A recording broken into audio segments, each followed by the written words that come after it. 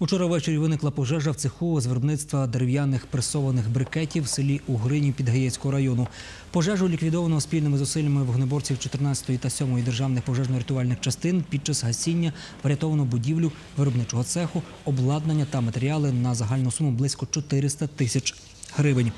Вогнем знищено близько 50 тонн твердих паливних брикетів, покрівлю будівлі цеху на площі 300 метрів квадратних та виробниче обладнання. Орієнтовані матеріальні збитки становлять 300 тисяч гривень. Причини виникнення пожежі встановлюються.